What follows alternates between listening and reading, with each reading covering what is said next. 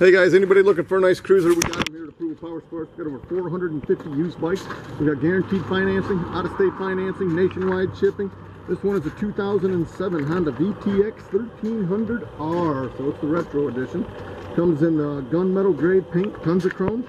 This is one good looking VTX. It's all stock, no modification, run strong, need nothing. It's just serviced at a factory authorized Honda dealership, been inspected, all the fluids have been changed, and there is a warranty available so you can buy with confidence. Keep an eye on our website, YouTube channel, and Facebook page. It's approvalpowersports.com.